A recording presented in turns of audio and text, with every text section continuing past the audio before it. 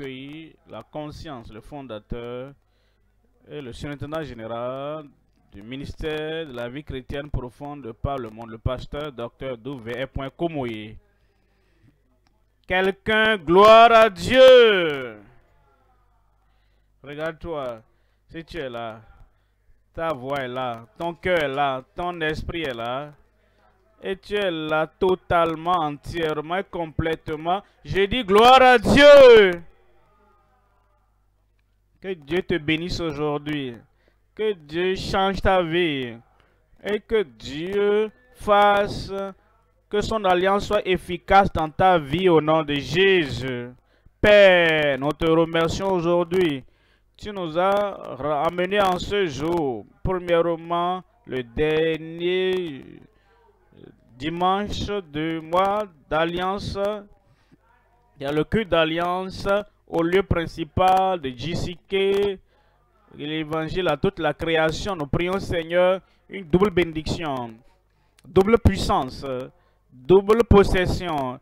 Accorde-les à chacun au nom de Jésus. Nous prions, Seigneur, que ta parole est libre cours dans chaque vie et bénisse chaque vie et la pluie, la veste bénédiction du ciel viennent sur chacun sans exception, ici, là-bas, au lieu principal, en ligne, partout, au nom de Jésus. Nous te remercions parce que nous savons que tu nous as exaucés. Au nom de Jésus, nous prions. Un meilleur Amen. Amen. Que Dieu bénisse pour vous asseoir. Nous sommes en Isaïe au chapitre 42, verset 5. Isaïe 42, verset 5. Ainsi parle Dieu l'Éternel, qui a créé les cieux et qui les a déployés, qui a étendu la terre et ses productions, qui a donné la respiration à ceux qui la peuplent et le souffle à ceux qui y marchent. Il donne la respiration à ceux qui la peuplent et le souffle à ceux qui y marchent. Verset 6.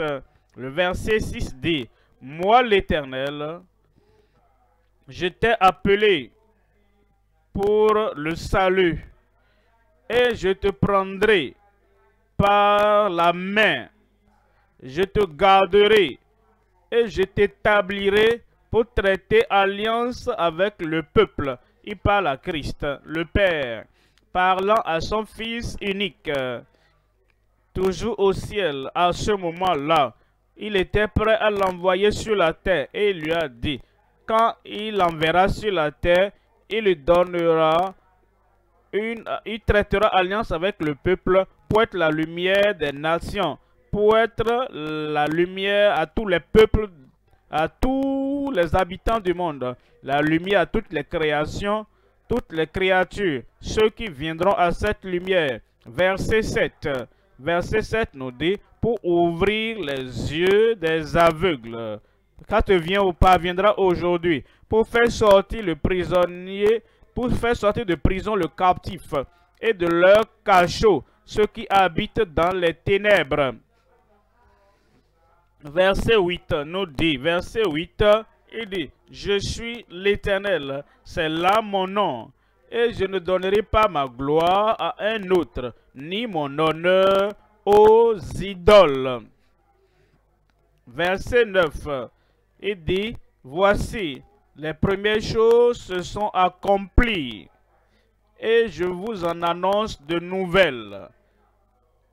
Aujourd'hui, de nouvelles choses cette semaine de nouvelles choses. Et pour le restant de l'année, dans nos vies, de jour en jour, de temps, de période en période, de mois en mois, tout au long, Dieu le Tout-Puissant dit, a promis et a déclaré et il dit de nouvelles choses, de nouvelles choses pour ton âme, de nouvelles choses pour ton esprit, de nouvelles choses pour ton corps, de nouvelles choses pour ta famille, de nouvelles choses pour ton ministère, de nouvelles choses pour ta profession, de nouvelles choses dans tous les domaines de ta vie au nom de Jésus. Le ciel l'a déclaré, Dieu l'a déclaré, le Dieu Tout-Puissant l'a déclaré. Et lorsque Dieu dit, voici ce qu'il va faire, c'est ce qu'il va faire.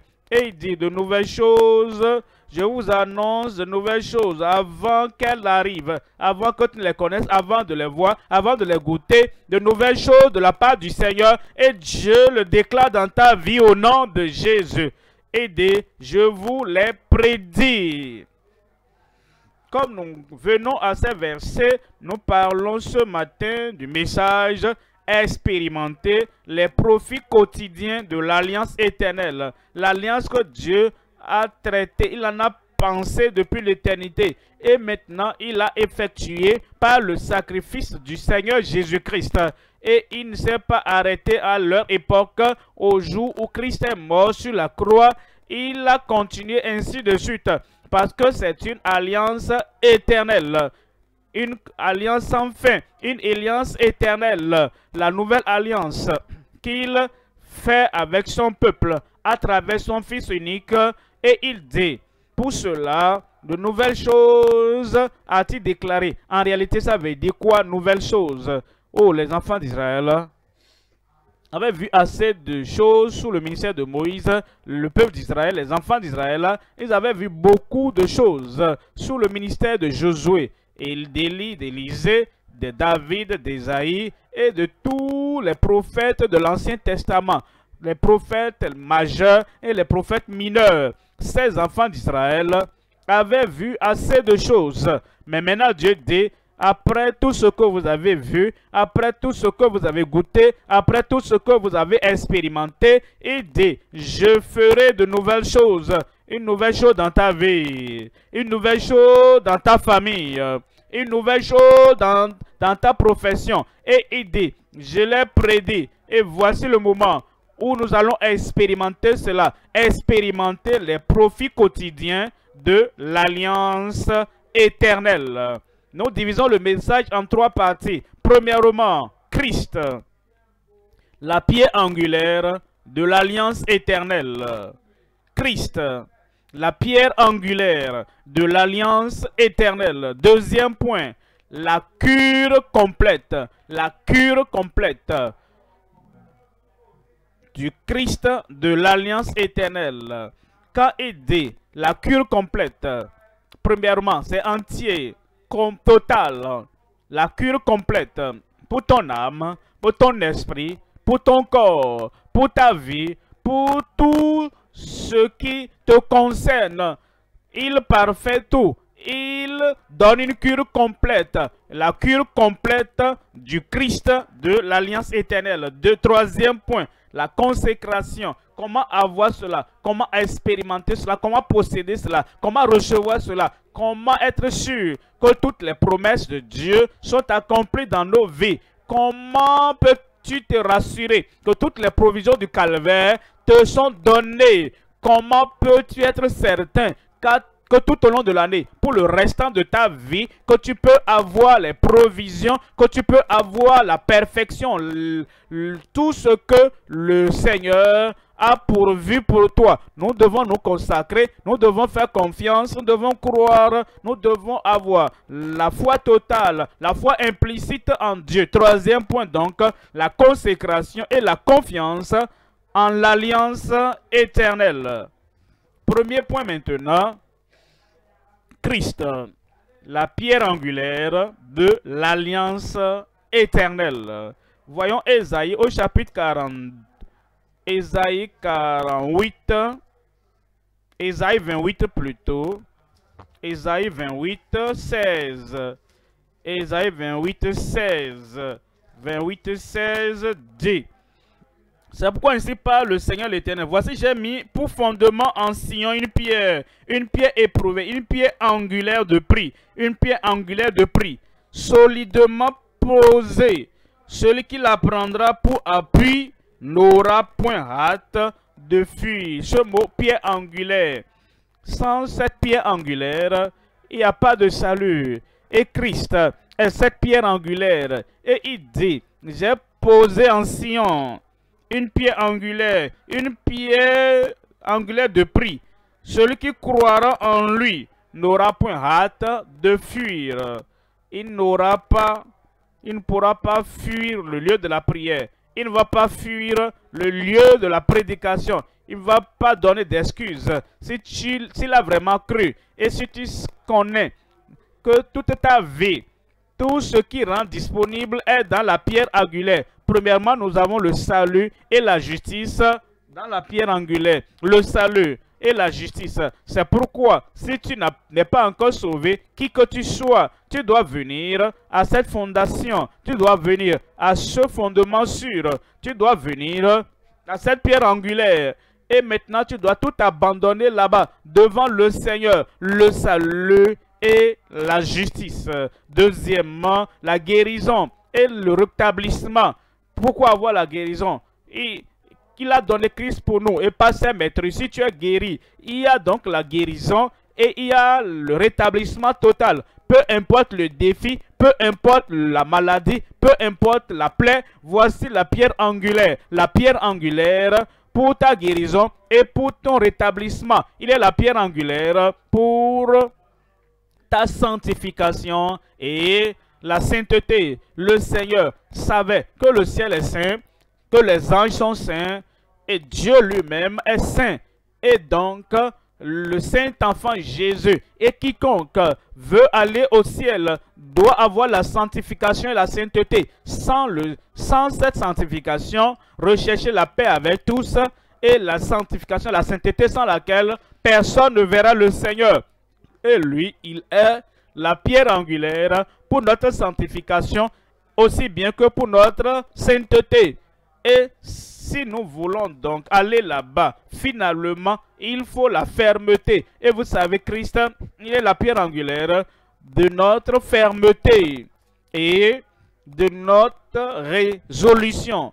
Tu es résolu et tu dis pas tous les moyens? Ce ciel, je dois aller là-bas et il n'y a pas un autre chemin pour y aller. Il est le chemin, il est la vie, il est celui donc qui nous conduit à cette fermeté, aussi bien à cette résolution. Il est la pierre angulaire de notre suffisance et de notre préparation pour aller au ciel. Vous savez, plusieurs fois dans, dans le Nouveau Testament, soyez prêts, soyez prêts, soyez prêts.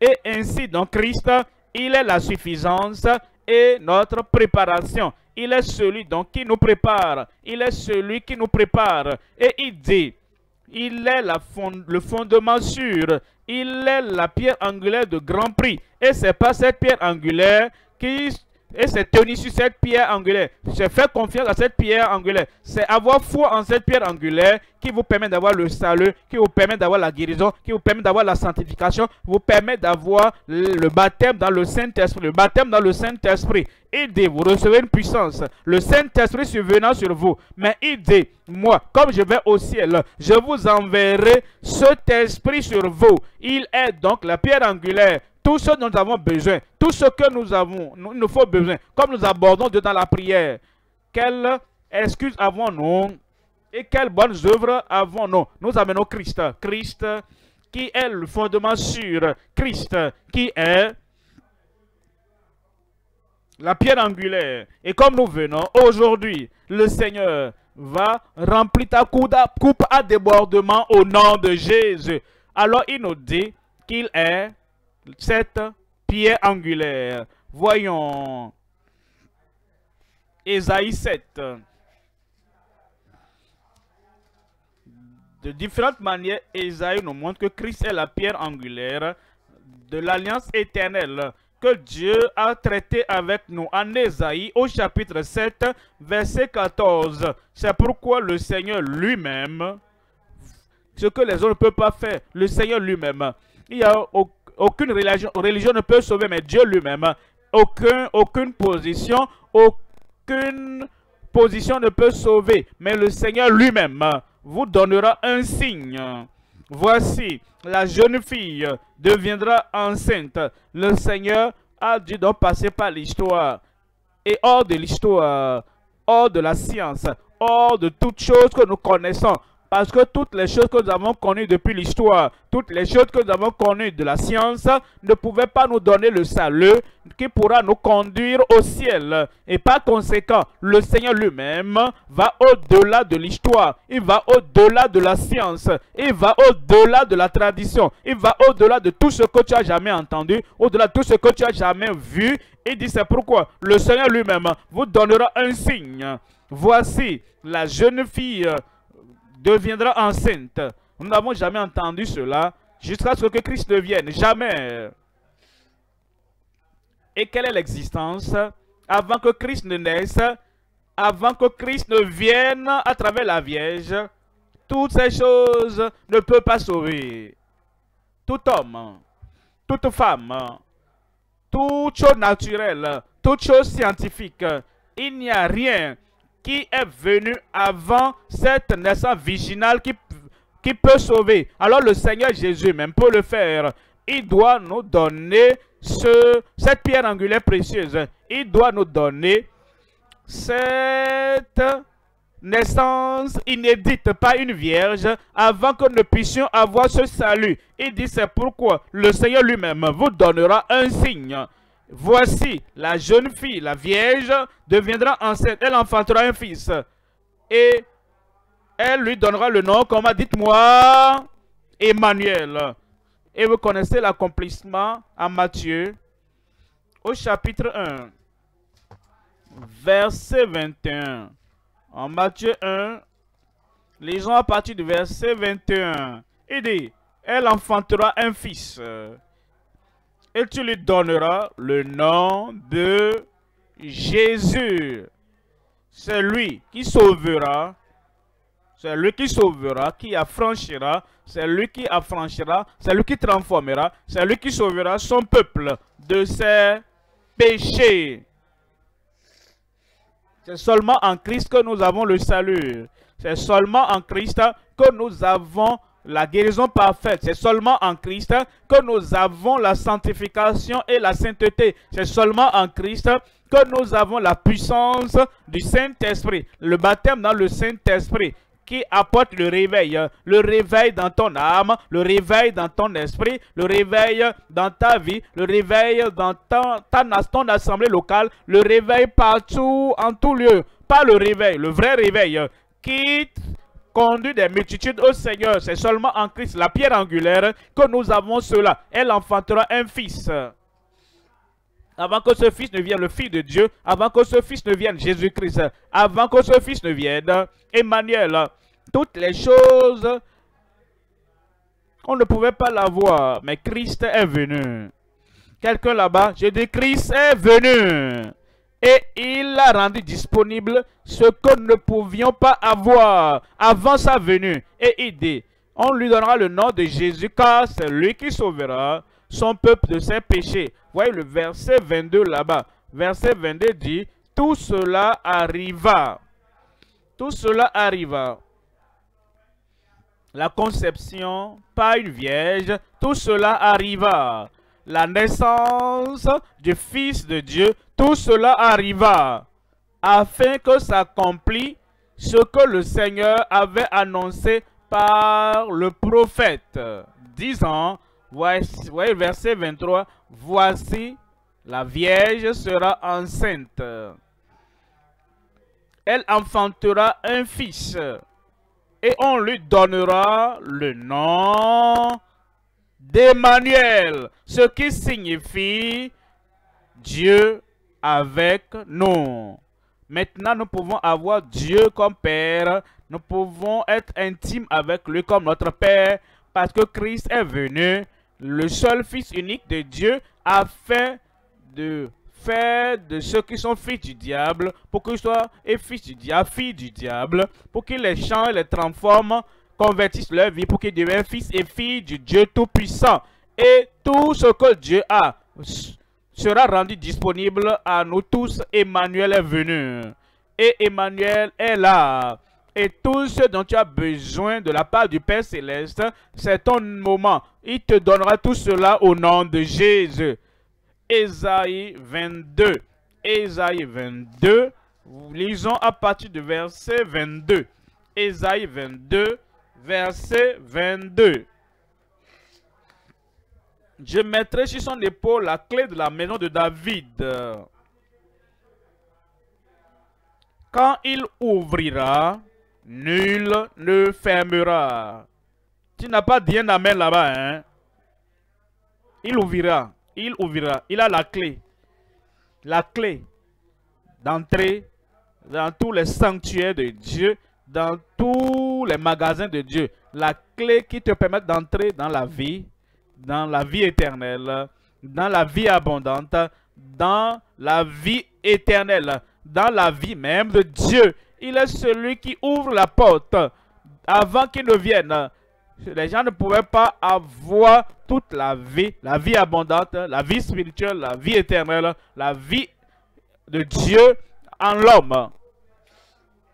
Il n'arrivait pas ça, mais il est la pierre angulaire, la pierre angulaire de l'alliance éternelle qui nous conduit dans cette porte ouverte et le volant ne vient que pour dérober, pour tuer et pour détruire. Mais moi, je suis venu.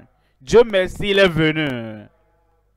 Pour toi là-bas, il est venu là-bas. Il viendra là-bas. Pour toi là-bas, il viendra là-bas. Et les bénédictions du Seigneur seront abondantes, débordantes, te parviendront et viendront dans ta vie. Il dit quand il ouvre, nul ne fermera. Quand il fermera, nul n'ouvrira. Voyez cela en Apocalypse chapitre 3. Apocalypse chapitre 3.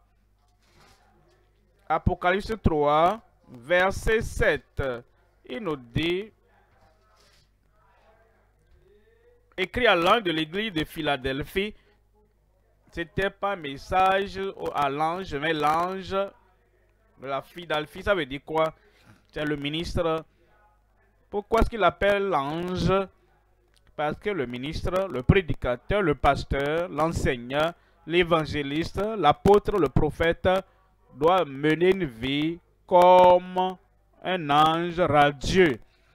Une vie qui n'a pas de tâches, qui n'a pas de souillure, qui n'a pas de péché, qui n'a pas d'habitude de pécheresse, qui n'a aucune tâche de ce monde. C'est pourquoi il se réfère à ce ministre comme étant un ange. Nous tous qui sommes ambassadeurs de Christ, nous tous qui apportons Christ et qui portons Christ vers les autres, c'est ce type de vie qui veut que nous menions dans la une vie sans péché, sans tâche, sans souillure, une vie qui brille au milieu des gens ou devant les gens. Un ministre, un pasteur, un prédicateur doit être totalement différent dans, en toutes choses, extérieurement, intérieurement, publiquement, en privé, dans sa famille, et dans l'église du Dieu vivant. Il doit mener et vivre comme un ange parmi les hommes. Et les gens verront et ils pourront dire, oh, le pasteur vit comme il prêche. Alors, je vais être comme ça. Si la grâce de Dieu peut venir à notre pasteur, à notre dirigeant, peut venir à l'ambassadeur de Christ et il peut mener vie sans tâche comme ça, comme un ange, alors, s'il peut, je peux. Je peux. Cette grâce de Dieu sera abondante dans chaque vie au nom de Jésus. À l'ange de l'église de Philadelphie, voici ce que dit le Saint. Le véritable, c'est Christ. Le véritable, c'est Christ. Celui qui a la clé de David, celui qui ouvre et personne ne fermera. Celui qui ouvre dans chaque génération, celui qui ouvre dans chaque pays, celui qui ouvre n'importe où, et personne dans cette communauté, personne ailleurs ne pourra fermer la porte qui est ouverte. Il dit, celui qui ferme et personne n'ouvrira. Tu l'as comme sauveur, tu l'as comme libérateur. Tu l'as comme la pierre angulaire de ton salut, la pierre angulaire de ta guérison, la pierre angulaire de ta sanctification, la pierre angulaire de ta fermeté, la pierre angulaire de du baptême de l'Esprit, la pierre angulaire de notre suffisance. il est suffisant pour toutes choses. Et Dieu le savait. Tout ce qu'il veut envoyer à quelqu'un dans n'importe quelle partie du monde, il a envoyé la pierre angulaire, il a envoyé Christ et nous verrons qu'il sera suffisant dans ta vie au nom de Jésus. Quelqu'un crie suffisance. Pas de manquement dans ta vie, plus de limitation dans ta vie. Et la porte est grandement ouverte pour toi là-bas. Comme nous prions, j'entends des gens dire, oh, le soir, le soir, le soir. Oui, le soir. Mais cet après-midi, le Seigneur enverra les bénédictions abondantes, les bénédictions suffisantes, les bénédictions internes, les bénédictions externes, les bénédictions familiales, l'exaucement aux prières dans ta vie au nom de Jésus. Il est déjà là. Ésaïe 9, verset 6. Ésaïe 9, verset 6 dit, Donnez à l'empire de l'accroissement. Est-ce que vous avez jamais pensé nous? Verset 5, lui, c'est quand un enfant nous est né et ne partit pas à ça. Parce que l'affaire de tout le monde, ce n'est l'affaire de personne.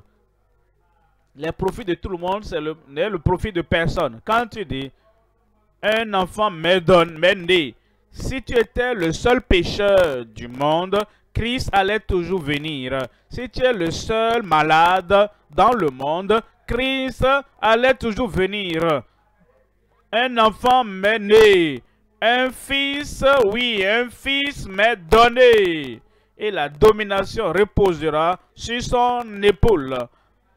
Tu dois sortir de la gestion de soi parce que la domination de ta vie, la domination de ton pèlerinage, la domination de ton activité, la domination de ta vie repose maintenant sur son épaule.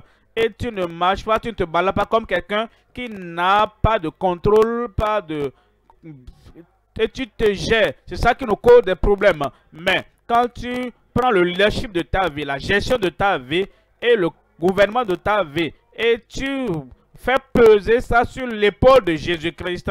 Ta vie sera redressée au nom de Jésus. Et nous dit, et on l'appellera admirable. Ces produits, tu les auras aujourd'hui. Conseiller. Vous savez, oh, sauvés, sauvés, sauvés.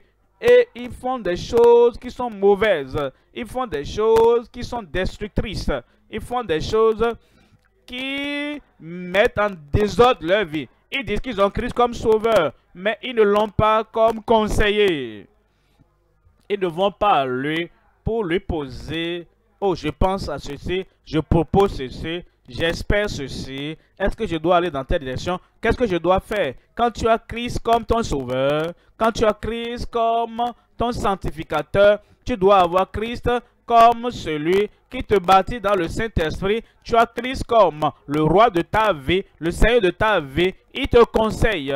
Il va dans telle direction, ne va pas là-bas. Tout là, ne, ne parle pas là-bas.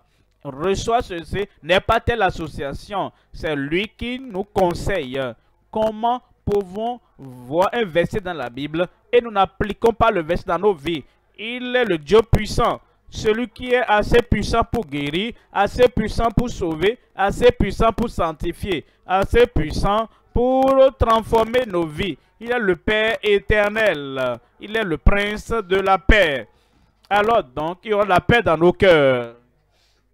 Il y aura la paix dans nos âmes. Il y aura la paix dans nos familles. Il y aura la paix dans nos associés, avec ceux qui s'associent avec nous. Mais si la paix n'est pas là, est-ce que nous pourrons voir le prince de paix? S'il n'y a pas la paix dans l'âme, il n'y a pas le repos dans l'âme, si le cœur palpite en tout moment et nous n'avons pas de paix en nous là-bas, où est le prince de paix? Mais il est le prince de la paix. Il régnera sans rival dans ta vie. Amen. Verset 7. Verset 6. Donnez à l'empire de l'accroissement et une paix sans fin au trône de David et à son royaume. L'affermir et le soutenir par le droit l'affermir et le soutenir. Si la vie de quelqu'un désordonné, il n'arrive même pas à savoir prendre ceci, prendre cela, quand aller là-bas ou, venir ici, et il dit qu'il est en Christ. Quand le Seigneur dit, quand Christ prend contrôle, contrôle absolu de nos vies, il va affermir nos vies, il va affermir nos familles, il va affermir notre église locale, il va affermir toute son église et il va affermir même l'univers et le soutenir par le droit et par la justice, dès maintenant et à toujours. Voilà ce que fera le zèle de l'Éternel des armées. Gloire à Dieu, le Seigneur va l'accomplir dans ta vie. Christ, le roi, Christ, la pierre angulaire, il accomplira toutes choses dans chacune de nos vies au nom de Jésus. Deuxième point maintenant. Deuxième point, la cure complète du Christ, de l'alliance éternelle. Christ n'est pas seulement l'alliance pour Israël. C'est ainsi, ce serait une chose limitée. Voilà pourquoi j'ai dit, j'ai dit hier, certains théologiens, certains prédicateurs, ils disent que l'âge des miracles est passé. Soit ils n'ont pas vraiment lu et compris le mot éternel. Alliance éternelle, l'alliance qui guérit, l'alliance qui, euh, qui nous redresse. C'est une alliance éternelle. Et ça n'a pas pris fin. Ça n'a pas pris fin au moment où Christ est mort pour aller au ciel l'alliance n'a pas été suspendue depuis que le dernier apôtre Jean est allé au ciel.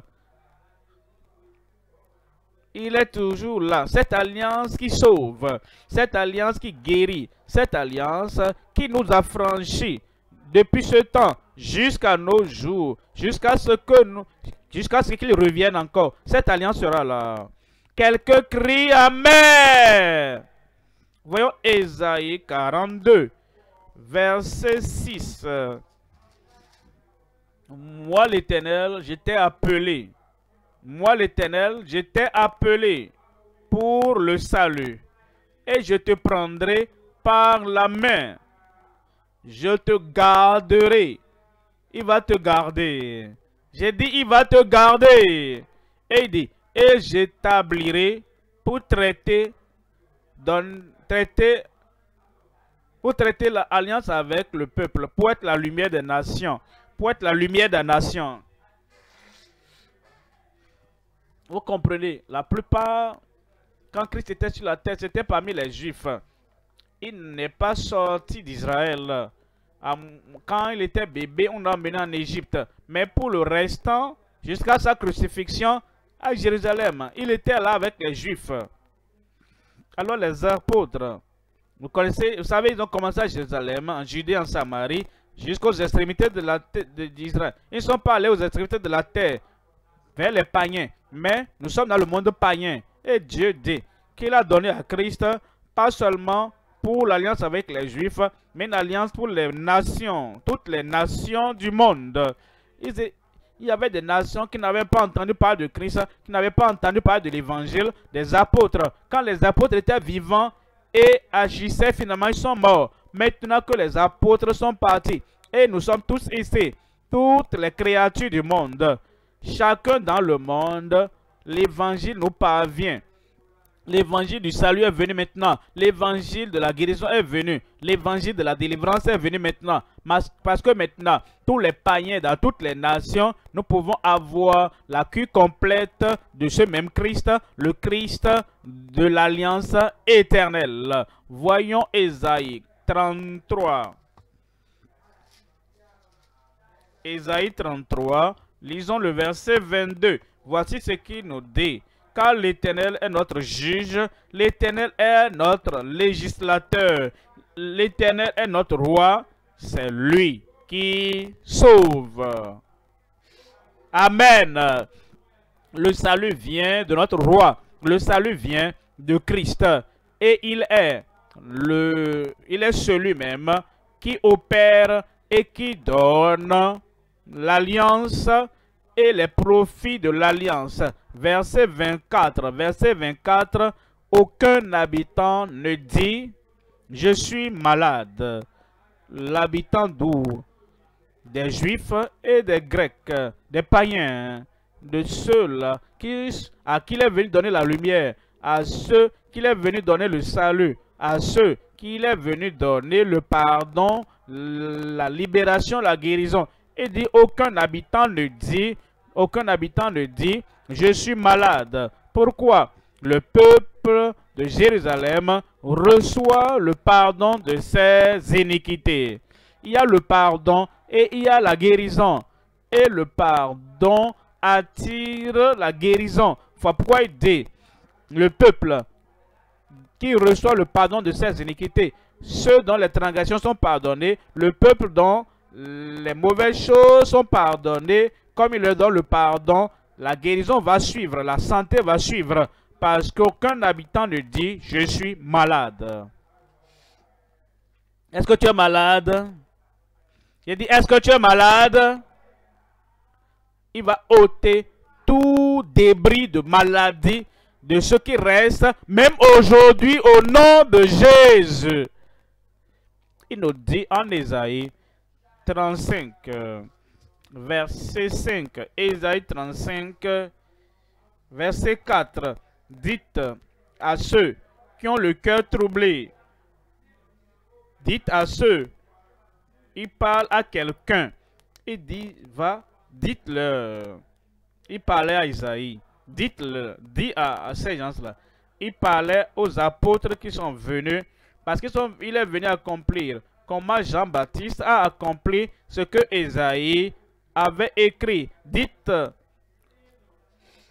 et tous ceux qui ont suivi Christ, tous ceux qui ont cru en Christ, tous ceux-là qui ont placé leur foi, leur confiance en Christ, il leur a dit, dites-leur, il m'envoie te dit quelque chose. Dites, dites à ceux, ne couvre pas ta bouche quand tu veux dire quelque chose, ne baisse pas la tête quand tu veux leur dire, n'aie pas peur. N'aie pas peur, ne sois pas craintif quand tu veux parler. Ce que je viens vous dire sera accompli dans ta vie. Et dites à ceux qui ont le cœur troublé, prenez courage. Prenez courage. Ne craignez point. Ne crains pas la mort prématurée. Tu ne mourras pas prématurément. Voici votre Dieu. La vengeance viendra. La rétribution de Dieu. Il viendra lui-même et vous sauvera. Il viendra lui-même et vous sauvera. Si je te parle, regarde-moi, non? Est-ce que tu es là? Est-ce que je te vois là-bas? Il dit, ton Dieu viendra et te sauvera. Le salut est disponible parce que Christ est mort pour nous. Et Christ a pourvu toutes choses. Verset 5. Verset 5 nous dit, alors s'ouvriront les yeux des aveugles, s'ouvriront les oreilles des sourds Verset 6. Verset 6 nous dit, alors le boiteux sautera comme un cerf. Amen.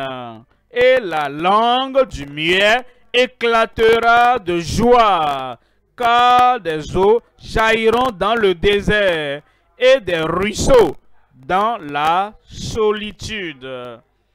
Verset 7. Verset 7. Il nous dit, le mirage se changera en étang et la terre desséchée en source d'eau. Dans le repère qui servait de gîte au chacal, croîtront des roseaux et des jonques. Verset 8. Verset 8. Il y aura là un chemin frayé, une route qu'on appellera la voie sainte, la voie de la sainteté. Quelqu'un dit Amen. La voie qui conduit au cœur de Dieu, c'est la voie de la sainteté. La voie qui conduit à toutes les provisions du calvaire par Christ, c'est la voie de la sainteté. Et la voie qui conduit à l'abondance, la voie qui conduit à, sa suffisance, il dit il y aura un chemin frayé, une route. Elle, on l'appellera la voie de la sainteté. Nul impur n'y passera. Nous devons laisser toute impureté à la porte avant de continuer, de poursuivre cette bénédiction de Dieu dans nos vies. Et idée, elle sera pour ceux-là qui craignent Dieu. Ceux qui la suivront, même les insensés, ne pourront s'égarer. Verset 9. Verset 9. Sur cette route, point de lion, nulle bête féroce ne la prendra. Nul ne s'y rencontrera. Les délivrés y marcheront. Les lions, les lions furieux les hommes furieux, les hommes furieux, ayant la malice, ayant, ils ne vont pas pardonner cette personne jusqu'à ce qu'il ne meure. Alors ils vont dans l'au-delà. Il dit qu'ils ne seront pas trouvés là-bas. Et ceux-là qui utilisent la magie ou la sorcellerie pour détruire les autres, la vie des autres, la Bible dit qu'ils ne seront pas là-bas. Mais les rachetés, ils marcheront. Verset 10, les rachetés de l'Éternel retourneront. Ils iront à Sion avec chant de triomphe. Avec chant de triomphe. Et une joie éternelle couronnera leur tête. L'allégresse et la joie s'approcheront. La douleur et les gémissements s'enfuiront. Et le peuple de Dieu crie. Ésaïe 61, verset 1. Ésaïe 61, verset 1. Il nous dit, dans le verset 1, il nous dit clairement ici, L'Esprit du Seigneur, l'Éternel est sur moi. Pense à cela. Ésaïe a prophétisé, parlant environ 700-800 ans avant que Christ ne naisse. Et les paroles que Christ déclarera, les paroles que Christ prononcera pour montrer pourquoi il est arrivé, pour montrer l'objectif de sa venue, Esaïe a écrit ces paroles. C'est comme, il y a certaines personnes qu'on appelle des éditeurs des discours. C'est toi qui dois prononcer le discours. C'est le roi qui doit délivrer. Mais celui qui écrit le, discours, c'est lui qui prépare tout le discours. Et il écrit par l'inspiration. Il écrit ça venant de la pensée de la bouche de Dieu. Et maintenant, il dépose ça là-bas. Et le roi ou le président ou le gouverneur ou la personne vient, il n'a même pas besoin de travailler pour écrire. Il prend seulement le discours et c'est lui maintenant. C'était écrit pour lui, pas pour Esaïe. C'est pas pour Esaïe. Esaïe a écrit ça en tant qu'écrivain, écriteur, écrivain, comme le prophète qui écrit pour Christ. Il dit, l'Esprit du Seigneur est sur moi. Il est sur moi. Pourquoi? Parce qu'il écrivait pour celui qui devait déclarer ça. Il dit, l'Esprit du Seigneur est sur moi, car l'Éternel m'a oint pour porter de bonnes nouvelles aux malheureux. Il m'a envoyé pour guérir ceux qui ont le cœur brisé, pour proclamer aux captifs la liberté et aux prisonniers la délivrance. Maintenant, voyons, le roi est venu maintenant, Christ est maintenant venu, et celui qui a préparé le discours, voyez en Luc chapitre 4, verset 18. Luc chapitre 4, verset 18. Il dit, l'Esprit du Seigneur est sur moi. Ça, c'est Christ. Il lit maintenant ce qui avait été écrit le concernant. Et il dit, tout ce qui est écrit me concernant sera accompli. Sera accompli. Et voici maintenant, notre Christ est venu. Notre Sauveur est venu. Notre guérisseur est venu. Et ce qui a été écrit le concernant, il prend et il dit, l'Esprit du Seigneur est sur moi.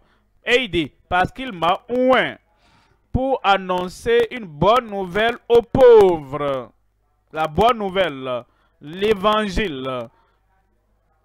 Il m'a donné la responsabilité de prononcer, d'annoncer, d'informer, proclamer la bonne nouvelle aux pauvres. Il m'a envoyé pour guérir ceux qui ont le cœur brisé.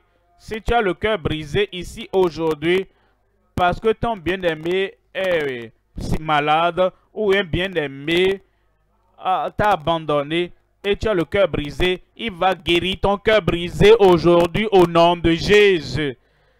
Et c'est ceux-là, tes bien-aimés qui sont partis, Dieu va les ramener. J'ai dit, Dieu va te les ramener. La dernière fois, c'était à la conférence des ministres, le matin, sur les exploits.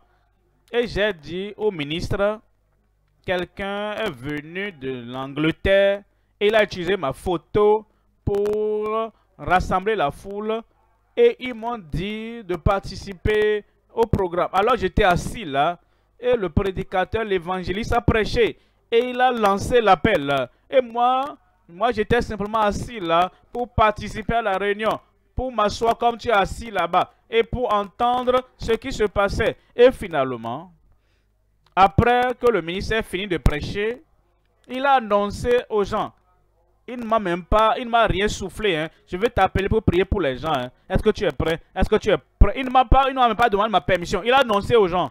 Et il a dit, j'ai fini la prédication. Le pasteur Koumouyi va prier pour les malades aujourd'hui. Et j'ai regardé, ça m'a choqué. Comme ça a choqué tout le monde. L'évangile est venu de, l'Angleterre. Pourquoi ne fais pas ça toi-même? Je n'avais pas de choix, je me suis levé. Tu vas te lever. J'ai pris le micro tu vas recevoir le micro aussi. Et la puissance de Dieu va se manifester à travers toi au nom de Jésus. Alors j'ai prié, j'ai prié, j'ai prié. Tu vas prier. Les gens pensent que c'est l'humilité. Ils disent, nous avons prié. Quand prier a prié, prier a prié. Quand Jean a prié, quand Étienne a prié, c'est Étienne qui prie. Quand Philippe a prié, on a dit que prier et Philippe a prié. Moi, William, j'ai prié. Toi, quel est ton nom? Tu vas prier. Dieu va exaucer ta prière. Alors, plusieurs de miracles se sont produits. C'est pas ce que je vais dire. Hein. Et l'homme a pris des photos, a amené ça en Angleterre et a montré ça à son conseil de l'église pentecôtiste là-bas. Alors écris à cet homme, invite-le. Et je suis venu, je leur ai enseigné sur les dons de l'esprit, j'ai parlé sur la manifestation de la puissance de Dieu. Voici là où je vais maintenant, immédiatement. Après que j'ai fini, je m'en vais comme ça. Un ministre est venu me voir parce que j'ai parlé au ministre sur les dons de l'esprit. Un ministre a dit, est-ce que tu peux prier pour moi? J'ai dit, bien sûr, je peux. J'ai dit, quel est, quel est le problème? Il dit, prie pour moi pour que j'ai une bonne femme. Et je l'ai regardé, peut-être un peu plus âgé que moi à l'époque. J'ai dit, moi-même ici, moi qui suis marié, est-ce que toi tu n'es pas marié à ton âge? Il dit, je me suis marié. Qu'est-ce qui s'est passé? Il dit, pour te dire la vérité, j'ai le cœur brisé. J'ai dit, parle-moi, non? Il dit, je suis allé à l'hôpital et toute partie de mon corps, mon, mon sang est empoisonné il n'y a aucune partie de mon corps qui est libre. Et j'ai amené les résultats, le résultat à mon épouse. J'ai dit, chérie, regarde ma condition maintenant. Elle dit, ah, tu es en train de mourir. Hein. La femme a ramassé ses colis, elle est partie. Cœur brisé. Et il veut une autre femme. J'ai dit, tu sais, prédicateur, moi je ne crois pas à la deuxième femme. Hein. Divorce, remariage en Angleterre. J'ai dit, mais je vais prier pour toi cette femme-là, elle va revenir. Il dit non, non, non, non, non, non, non, non, non. Parce que je connais cette femme. Hein. Une fois qu'elle prend la décision, c'est qu'elle ne, elle ne va pas rester ici. Tu ne vas jamais la voir. J'ai dit, moi, j'ai dit, de, la part du Seigneur, que cette femme va revenir. Alors j'ai dit, nous allons prier. La prière que nous allons faire, c'est que tout poison dans ton sang, le Seigneur va tout ôter Et ensuite, tu iras faire un autre contrôle médical. Et le rapport médical que tu feras va montrer à tout le monde, regardez ce rapport, que maintenant tu es un homme en bonne santé. Il a dit d'accord. Je n'ai pas attendu son affirmation parce que moi j'avais déjà l'affirmation venant du ciel. Alors j'ai dit, prions. J'ai dit Seigneur, tu connais mon pasteur, mon collègue pasteur, il a le, sang empoisonné. Balai tout poison et qu'il soit guéri et qu'il soit totalement en bonne santé. Alors j'ai dit Amen. Je n'ai pas pu attendre son Amen parce qu'il avait le cœur brisé. Vous voyez, les gens qui ont le cœur brisé, le Amen ne sort pas. Alors j'ai dit Amen qui allait avoir du poids? Pour toi, pour toi aujourd'hui, je dis et je donne un Amen pour toi et qui aura du poids au nom de Jésus. Alors j'ai dit, maintenant, n'argumente pas, retourne à l'hôpital et fais un autre test médical. Et quand tu auras ce test médical, ne dis pas, ne dis rien à ta femme. Fais une copie de ce rapport médical et poste-la à ta femme qui est partie. Il a fait exactement ce que j'ai dit. Et quand la femme a reçu le rapport médical, ça c'est bon. Ah, tel c'est bien. Telle partie c'est bien. Ceci oui. Ceci oui. La femme a dit, l'homme est en bonne santé maintenant. La raison pour laquelle je partis ou j'ai fui, c'est parce qu'il était malade, il était mourant. Maintenant, il est vivant. Alors, elle a ramassé encore ses bagages et elle est revenue à la maison. Tu n'as pas entendu ça, hein? Elle est revenue. Comment est-ce que j'ai su? L'église, la dénomination, il m'avait invité encore l'année suivante pour venir continuer ce que je leur enseignais. Et quand je suis arrivé là, j'ai fini le premier message, le premier jour. Et comme j'étais descendu, l'homme est venu et a dit, oh, ne t'en va pas, j'ai quelque chose à te dire. Est-ce que tu te rappelles de moi? J'ai regardé, j'ai dit, mais non, hein, parce que vous les blancs là, vous ressemblez tous. Hein. Il a dit, je suis le pasteur qui était venu te voir l'année dernière. Et je t'avais dit de prier pour moi pour que je me marie encore. J'ai dit, ah, tu vois.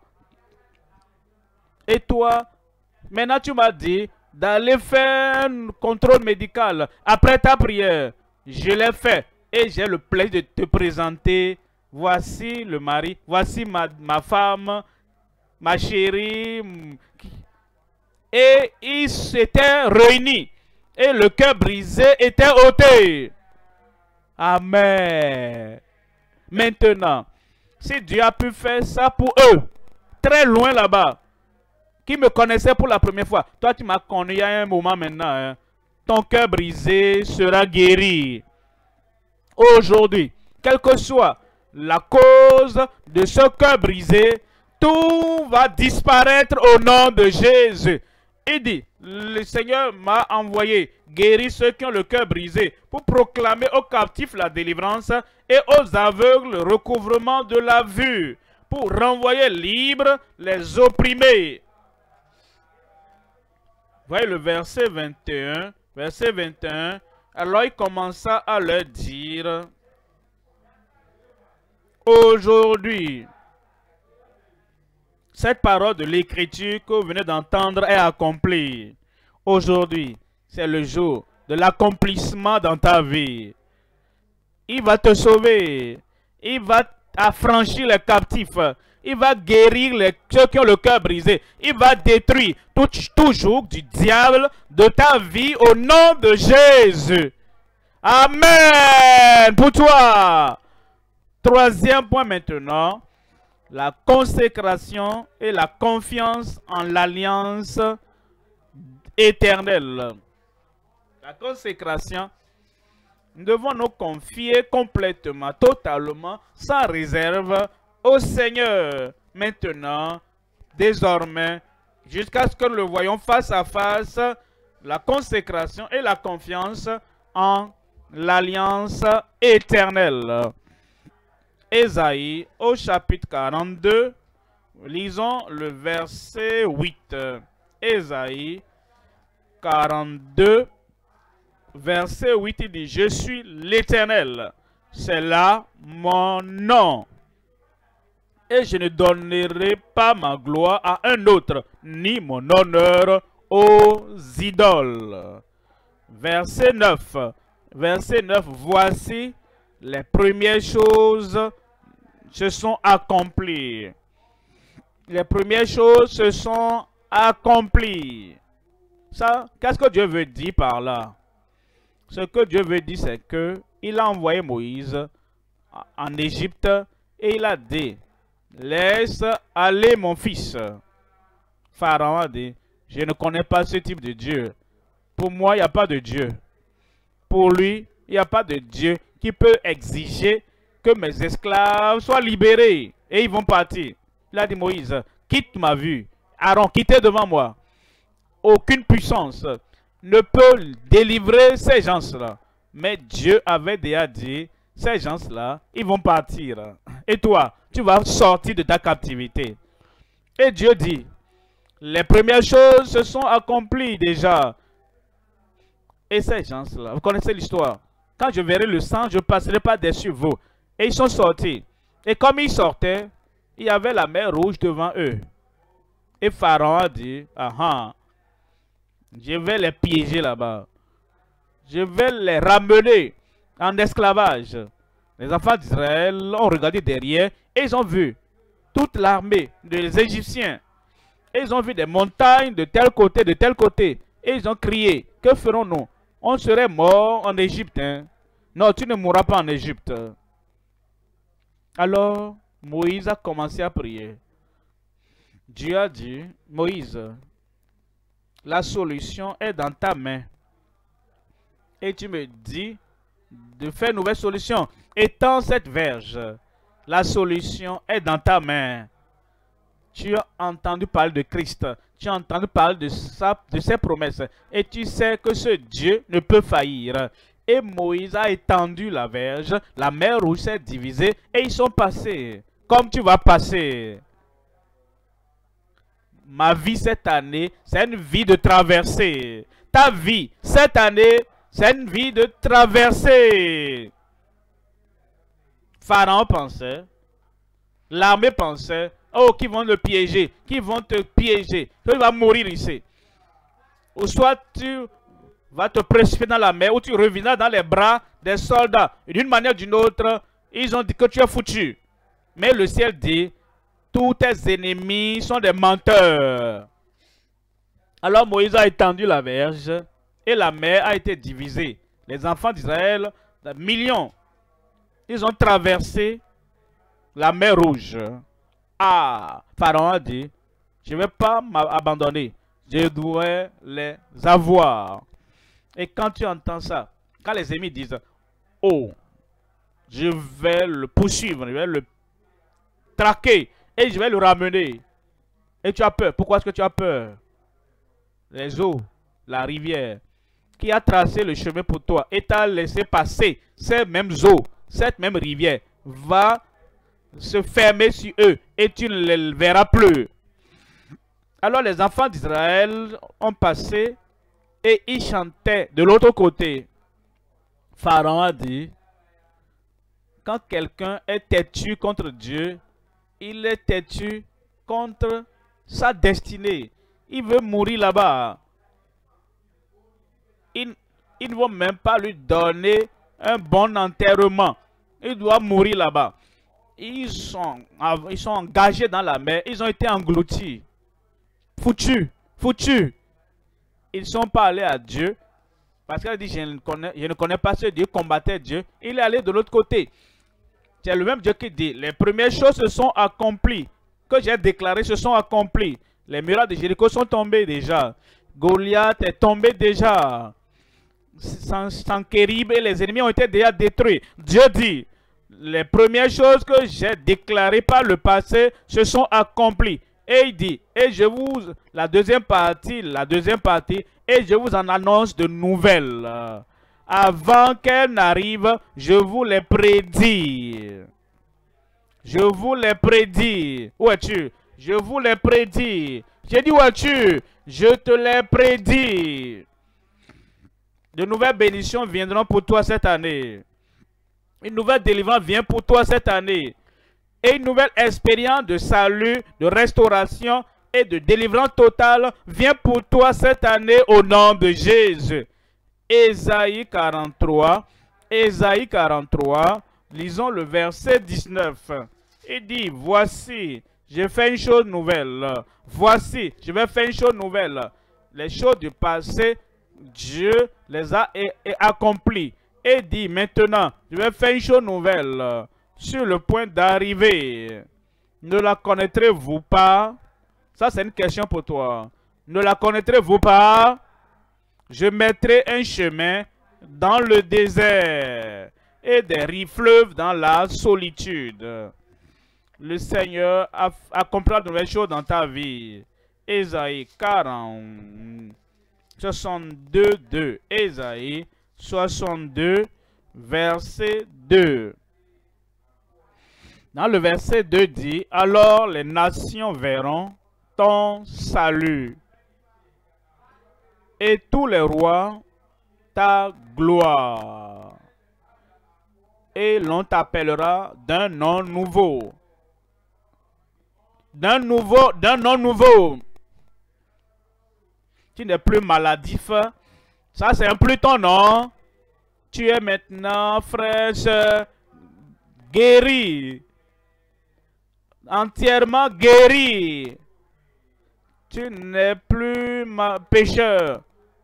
Maintenant, frère sauvé, sœur sauvé.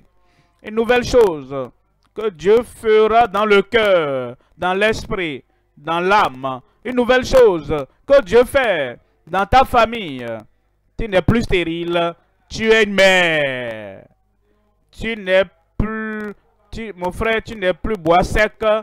Tu as tout ce qu'il faut et tes enfants biologiques viendront dans ta famille au nom de Jésus.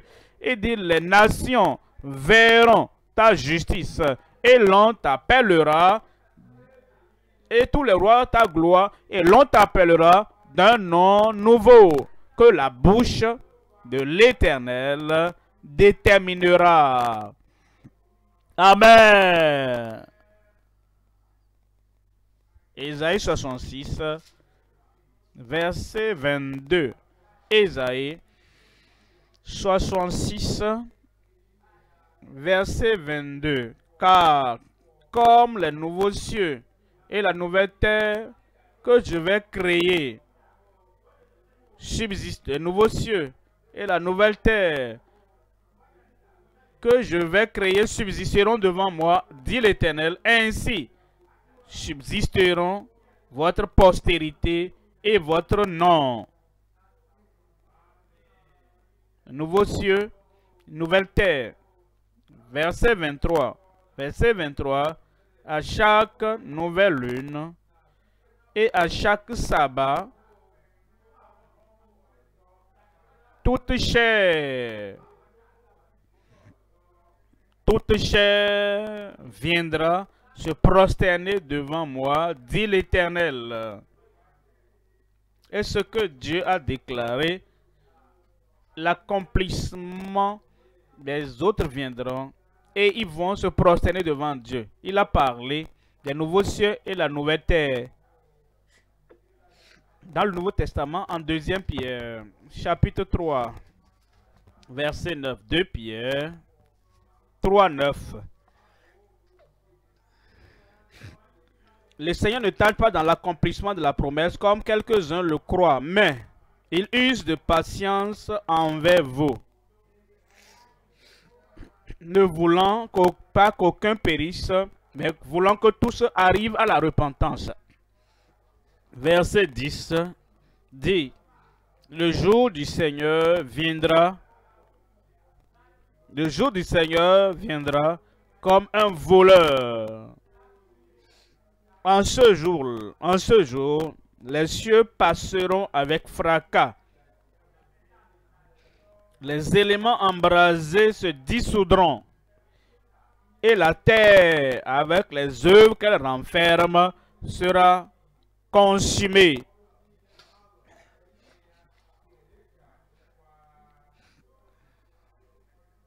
Verset 11. Puisque, donc, toutes ces choses doivent se dissoudre, qu'elles ne doivent pas être les choses dans lesquelles le coup amasse, toutes ces choses se dissoudront, qu'elles ne doivent pas être la sainteté de votre conduite et votre piété. Verset 12. Verset 12. Tandis que vous attendez et ratez l'avènement du jour de Dieu, à cause duquel les cieux enflammés se dissoudront et les éléments embrasés se fondront. Verset 13. Verset 13. Mais tout, mais nous attendons selon sa promesse. Nous attendons de nouveaux cieux et une nouvelle. C'est ce que nous avons lu dans Ésaïe. Il dit, je ferai des, nouveaux cieux, la nouvelle terre. Et Pierre nous dit, l'apôtre Pierre nous dit que c'est sur le point d'être accompli. Il dit, mais nous attendons, selon sa promesse, de nouveaux cieux et une nouvelle terre, où la justice habitera. Verset 14, il dit, c'est pourquoi, bien-aimés, en attendant ces choses, appliquez-vous à être trouvé par lui sans tache et irrépréhensible dans la paix. Ce jour est sur le point de venir. Christ est sur le point de venir. Il veut que nous soyons prêts. Rappelez-vous, c'est lui qui nous prépare par le salut.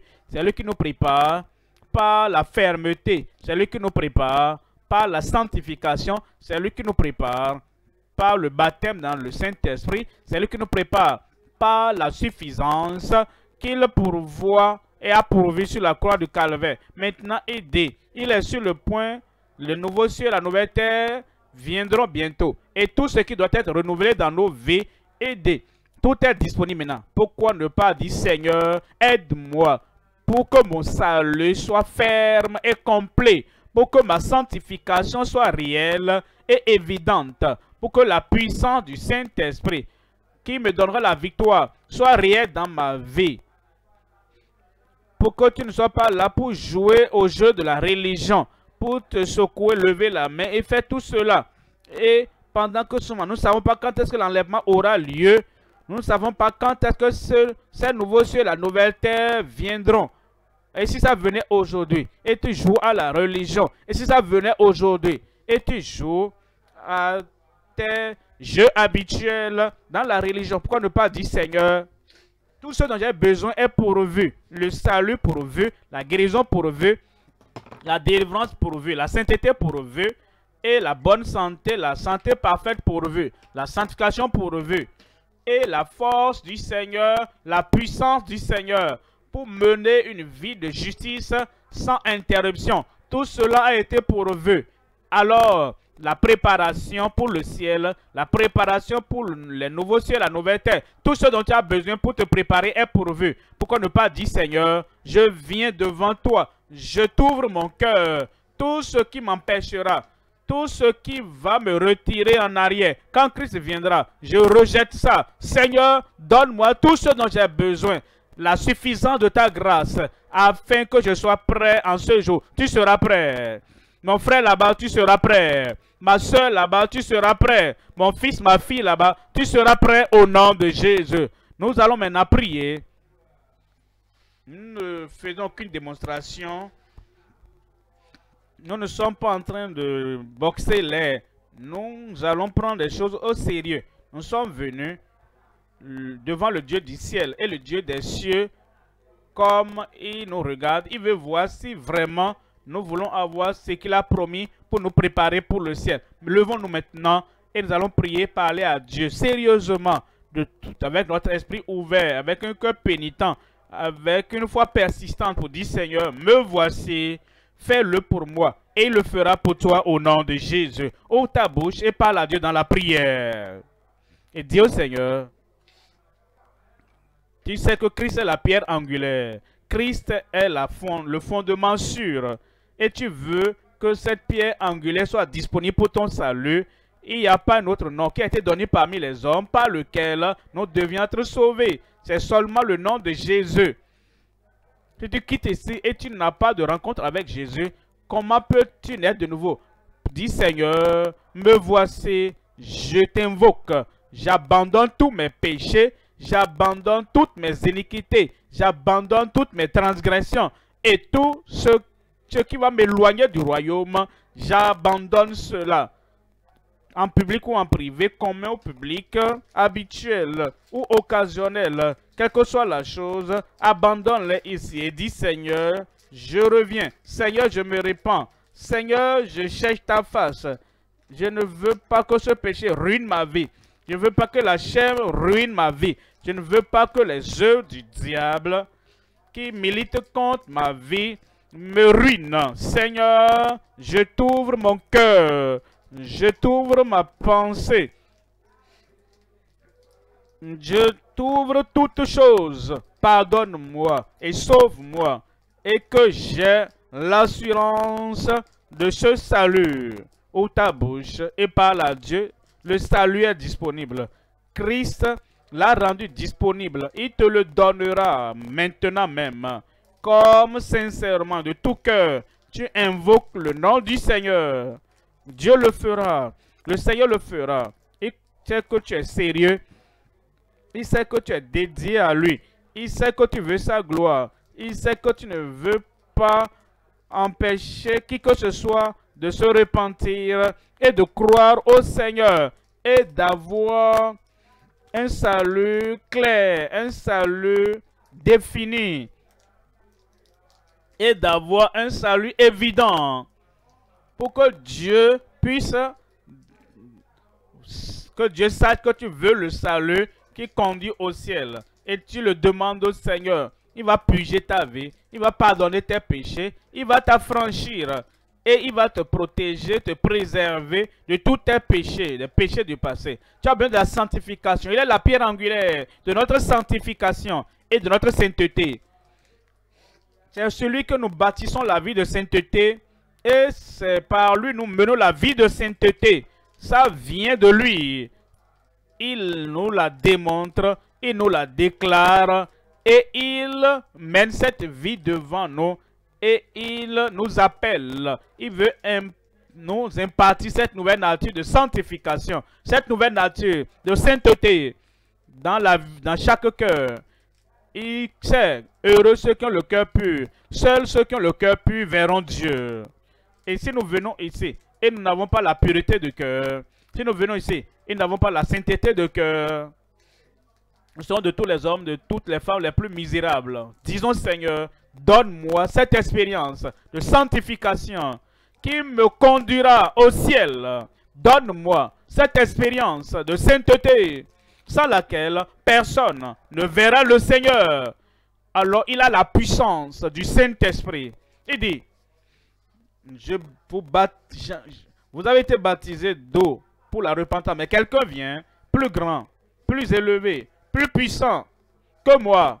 Lui vous baptisera du Saint-Esprit et de feu. Il dit attendez. Il dit attendez. Jusqu'à ce que l'Esprit de Dieu, dans sa mesure baptismale, vienne sur vous. Et vous recevrez une puissance le Saint-Esprit survenant sur vous, et vous serez mes témoins à Jérusalem, dans la Judée, dans la Samarie, jusqu'aux extrémités de la terre. Où est-ce que tu me regardes? Tu ne dois pas regarder, tu dois prier. Nous recevons ça en priant, en abandonnant tout sur l'autel, en disant, Seigneur, me voici, me voici. Tout, tout ce qui est là, tout ce, tout ce qui me retient loin de toi, tout ce que je garde en privé pour moi-même et qui m'éloigne du Seigneur de gloire. Seigneur, rappelle-moi ça. Je vais tout abandonner sur l'autel. Et avec cette consécration totale et entière, avec la foi, la foi qui n'est point reniée, la puissance du Saint-Esprit dans sa mesure baptismale viendra sur ta vie. Alors, tu verras que la grâce de Dieu est suffisante dans ta vie, suffisante pour ta vie, suffisante pour la course à laquelle il t'appelle. Demande au Seigneur et il le fera. Il a pourvu pour notre roi, pour notre cure, pour notre guérison, pour notre guérison totale. Il a pourvu pour notre santé, totalement en bonne santé, de la tête jusqu'à la plante de tes pieds. Il a pourvu pour notre guérison, pour notre guérison. Et par ses maîtrises, nous sommes guéris. Tu peux invoquer le Seigneur. Dis Seigneur, je sais, tu ne veux pas que je sois malade, que je sois maladif, maladive, un infirme, un faible. Tu veux que je sois fort, forte. Tu veux que je sois en bonne santé. Tu veux que je sois libre de toute forme de maladie, toute forme d'infirmité. Tout a été donc porté sur Christ. Et j'amène mes faiblesses, j'amène mes faiblesses, j'amène mes maladies, j'amène mes infirmités, j'amène mes déformations et je les pose sur Christ. C'est lui qui a tout porté. Tu dois le faire par la prière, par la foi. Pour que toute faiblesse, toute faiblesse, tout ce qui n'est pas pour ta santé parfaite, est-ce qu'il y a une douleur par-ci, par-là, j'ai une blessure interne par-ci, par-là, et tu amènes tout. Et par ta foi, par ta confession, par ta confiance, et tu portes tout sur Christ maintenant. Et il te donnera cette cure complète. Tu veux te consacrer totalement Seigneur. Seigneur, tout ce que tu me donnes, ma voix, mes oreilles, ma vue, mes habiletés, mon énergie, ma possession, tout ce que tu m'as donné, que je vais les utiliser pour la gloire de ton nom. Tu ne vas pas partager ta gloire avec un autre homme. Seigneur, je me consacre. Seigneur, je sacrifie tout. Tout à Jésus. J'abandonne. Tout à lui. Gratuit, je donne. Je vais l'aimer et croire en lui. Seigneur, le servir, l'aimer et lui obéir. Tout, tout, absolument tout, j'abandonne à Jésus. Et comme nous le faisons, tout ce qui est au calvaire, disponible pour nous, toute bénédiction, toute promesse, toute déclaration, toute provision par Christ au calvaire sera pour nous, pour notre compte.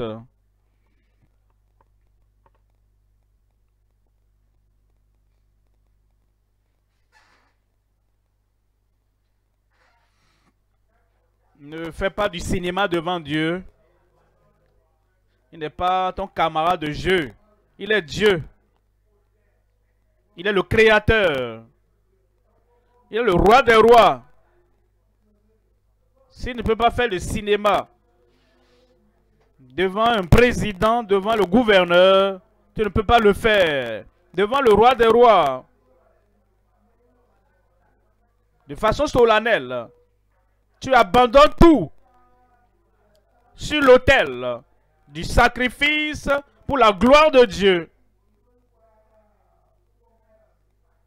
Si tu t'appelles ministre, pasteur, prédicateur, biche, et tu joues devant le Seigneur, tu ne lui appartiens pas, peu importe ta position. Tu t'appelles ouvrier dans l'église et tu viens jouer avec ton âme devant Dieu au moment de la prière, tu ne lui appartiens pas. Tu n'es pas prêt pour le retour du Seigneur. Tu dois abandonner tout. Toute chose en toi, tout ce qui est à l'extérieur, tout ce qui est autour de toi, tu veux tout abandonner en ta possession sur l'autel de consécration devant le Seigneur. Et tu dis, Seigneur, me voici.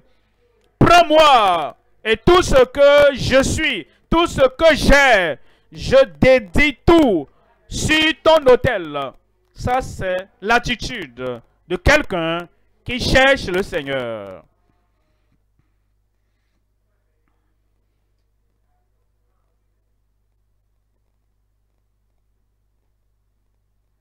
Parle au Seigneur, parle au Seigneur. Détourne-toi du mal et viens au Seigneur de tout ton cœur, de toute ton âme, de toute ta pensée. Tu appartiens au Seigneur. Agis de cette manière.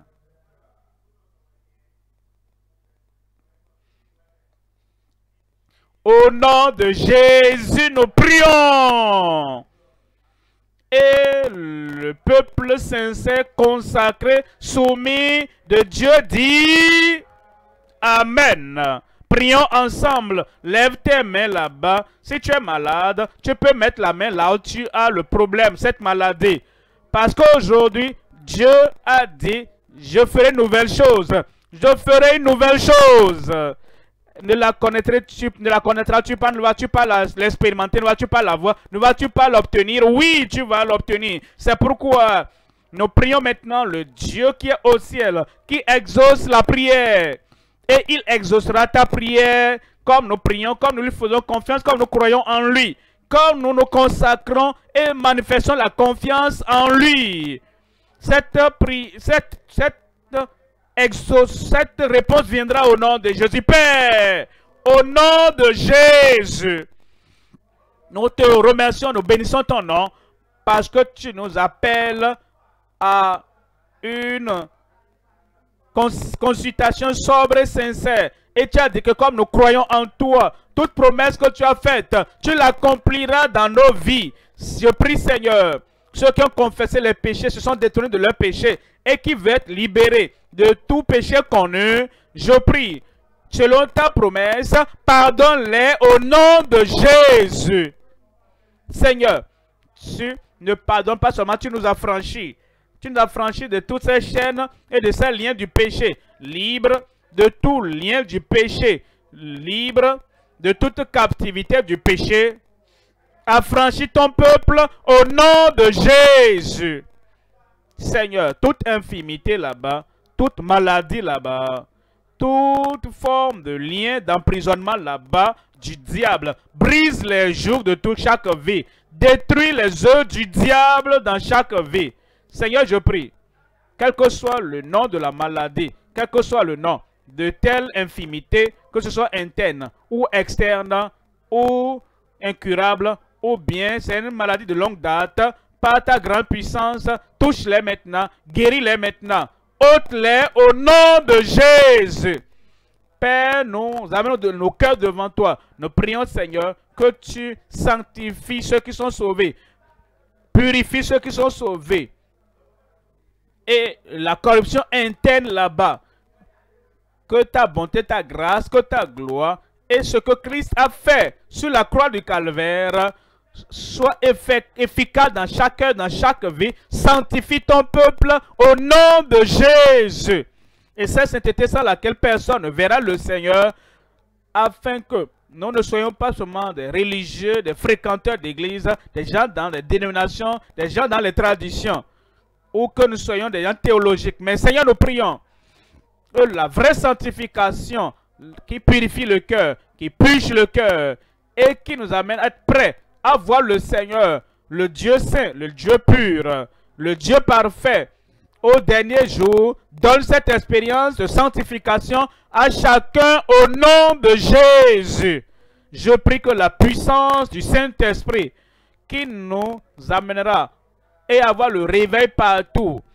La restauration de toutes choses que les gens ont perdues n'importe où et partout et qui nous amènera à avoir tout ce que le calvaire a pourvu et partager cela, donner ça aux autres, la puissance, la puissance du Saint-Esprit, cette puissance, la puissance surnaturelle, cette puissance, la puissance irrésistible, cette puissance, la puissance qui accomplit des prodiges, cette puissance qui déplace les montagnes, donne-la à chacun au nom de Jésus. Seigneur, je prie.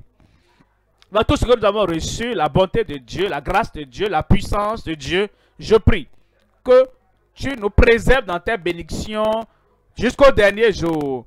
Que, comme la parole de Dieu dit, nous serons les plus malheureux si c'est seulement dans cette vie que nous avons les profits de Christ, la guérison, la délivrance, comme la prospérité, comme le succès, comme le triomphe. Si seulement dans cette vie que nous avons cela et ne sommes pas avec Christ dans la gloire au ciel, nous serons de tous les hommes les plus misérables. C'est pourquoi nous prions Seigneur, prépare-nous pour le jour de l'enlèvement au nom de Jésus. Prépare-nous pour aller au ciel au nom de Jésus. Et toutes les négligences de notre vie, toute la superficialité de nos vies, toute la frivolité de nos vies, toute la négligence dans nos vies, nous prions que tu balais tout maintenant, purifie toutes choses et rends-nous sobres, suiveurs de Christ, soucieux qui veut le voir au dernier jour. Merci Seigneur parce que nous savons que tu as exaucé. Au nom de Jésus, nous prions. Et le peuple de Dieu dit merci et que Dieu vous bénisse.